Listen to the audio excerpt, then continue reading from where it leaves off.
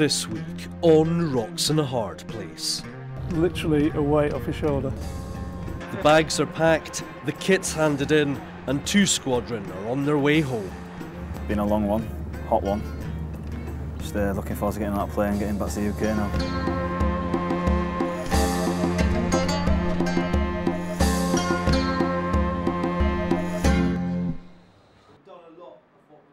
After six and a half months, it's the final day in Basra for the men of 2 Squadron.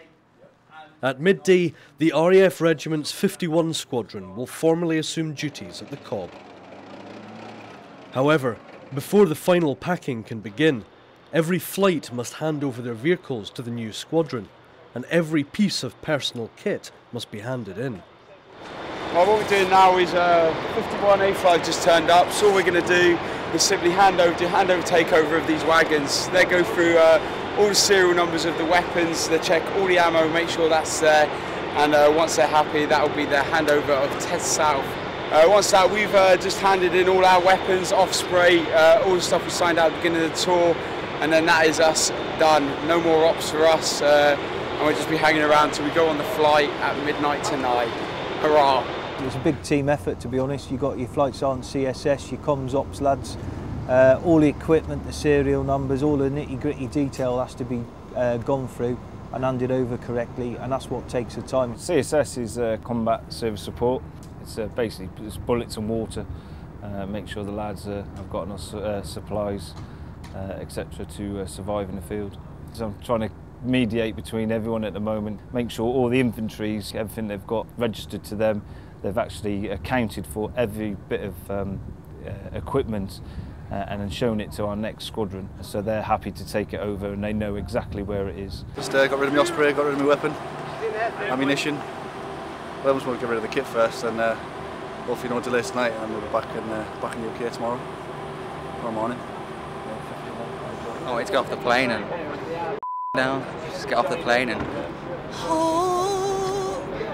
be class. Sit out in the fucking beer garden with a pint while it's down. Unreal. Literally a weight off your shoulder. Handing in Osprey was brilliant. Yeah, that smelled too good after six months. Looking forward to getting back, to be honest with you. It's been a long one, a hot one. Just uh, looking forward to getting on that plane and getting back to the UK now. Good first tour. Uh, learnt a lot from the lads. Just get to know lads on the flight a lot more. Like you feel a lot more comfortable having worked with the lads um, in theatre. You do learn a lot without even realising that you learn a lot. But generally, yeah, not too bad. For first tour, it's been, been not too bad at all. With the handover complete and the bags packed for the final time, it's now just a waiting game until the flight home. That is, if B Flight can get their luggage on the truck in time. Not late I have a reputation. Unfortunately, it's tarnished the whole B flight, which is unfair because they're actually very good lads. Hopefully, I'll take my reputation and uh, curse with me away from the squadron and let them have a bit of a break for the next OCB. I think it's been a very good tour for the squadron. Um, very different from the Afghan tour that they only finished 10 months before coming here. And I think uh, the difference in itself is a challenge. Uh, we've got a lot of manpower that this is their first operational tour. Some of the jobs that we've done here and the way we've gone about our business here uh, has been very good and it's a good grounding tour for a lot of the younger guys.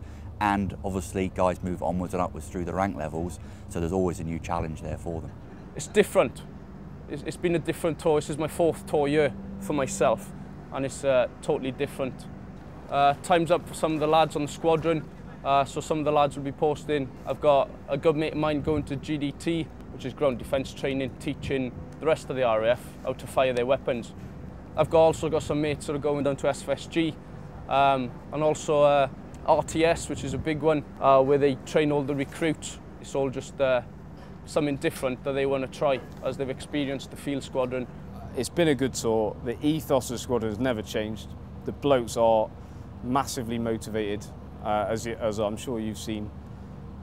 There's been so many changes. We've changed from being Mastiff, which are the kind of a, a wheeled vehicle, moved from that to Bulldogs, and the men have just proved again and again that they're capable of, of absorbing these changes. You know, two squadron men, two squadron, they've, they've done the job.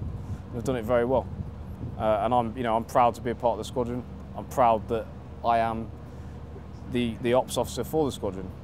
Thankfully, that, everything seems to have gone to plan. Commanding a squadron, and particularly commanding two squadron, is um, a privilege that uh, only the smallest minority of our RAF regiment officers will ever get. And particularly commanding two squadron, you know, the thoroughbred in the stable, you know, is a unique privilege. Next time, on the final Rocks in a Hard Place. General consensus is it's been a bloody hard tour, to be fair. It's medals and barbecues as two squadrons celebrate with their families.